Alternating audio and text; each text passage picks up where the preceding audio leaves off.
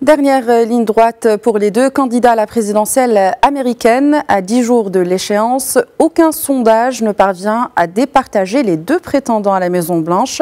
Kamala Harris jouera ce samedi la carte Obama à la veille d'un grand rassemblement à New York euh, pour Donald Trump. Après le Texas vendredi, les deux candidats ont à nouveau choisi le même État aujourd'hui, le Michigan, l'un des swing states, euh, ces États clés où va se jouer le scrutin du 5 novembre prochain.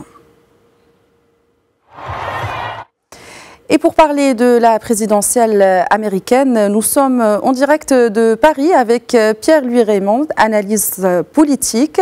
Euh, bonjour. Bonjour à vous. Alors, à dix jours de l'échéance, pas question de relâcher la pression pour les deux prétendants à la Maison-Blanche. Euh, Kamala Harris jouera aujourd'hui, euh, on disait, la carte de Barack et Michelle Obama, et ce, à la veille d'un grand rassemblement à New York pour euh, Donald Trump. Aucun sondage ne parvient jusqu'à présent à départager les deux candidats. Quelles sont, d'après vous, les chances des deux candidats? Alors évidemment, comme vous le dites très bien, pas question de relâcher la pression pour aucun des candidats parce que personne ne peut vraiment pronostiquer qui va sortir victorieux de ces élections américaines. Vous savez, c'est quelque chose de traditionnel.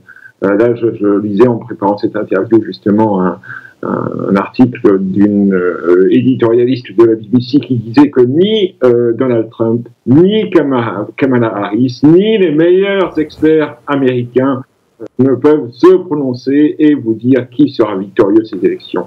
Parce que vous connaissez évidemment le système électoral américain qui est à la fois fondé, vous l'avez dit d'ailleurs dans votre reportage, sur ces fameux swing states, ces États dont on ne saura qu'au dernier, qu'à l'ultime dernier moment, qui euh, seront plébiscités parmi euh, les euh, habitants de ces États. Et puis vous savez que euh, dans un État fédéral comme euh, est celui des États-Unis, vous avez, avant euh, la décision finale qui interviendra au niveau des grands électeurs, toutes ces petites décisions des États fédérés, c'est comme si finalement vous remettiez toutes les voix qui avaient été votées État par État dans un grand shaker et que les grands électeurs, finalement, remuaient ce shaker. Et c'est presque, je dirais pas que c'est de la magie quand même, il faut pas exagérer, mais il y a une énorme, énorme incertitude entre la représentativité locale et la représentativité euh, fédérale.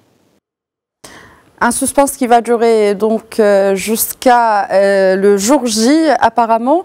Euh, en parlant des États choisis, Kamala Harris et Donald Trump ont tous les deux choisi le Texas hier. La démocrate pour y parler du droit à l'avortement. Le républicain pour y évoquer la crise migratoire.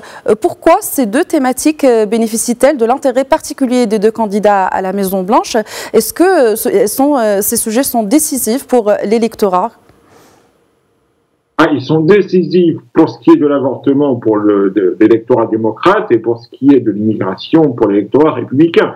C'est-à-dire que Trump et Harris euh, ont choisi le Texas. Évidemment, le Texas, comme vous savez, c'est une terre euh, républicaine traditionnelle, mais ils ont choisi en fait d'être tous les deux euh, dans cet endroit pour deux raisons symétriquement inverses. Parier sur en fait une, une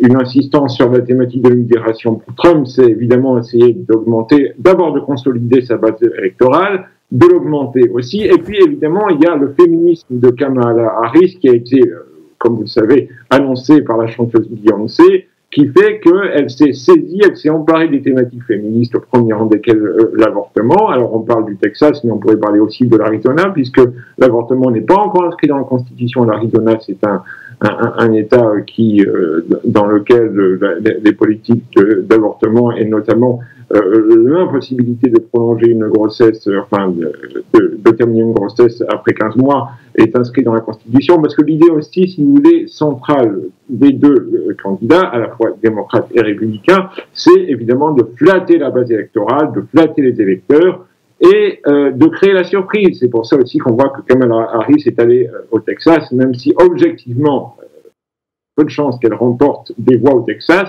mais les dés sont jetés, et pas seulement les dés sont jetés, l'idée c'est d'essayer de se mettre en, en, avant à partir d'une part de thématiques centrales et de thématiques qui puisse être accrocheuse pour les électeurs traditionnels, mais aussi au-delà d'une base qui ne vote plus et qui pourrait voter.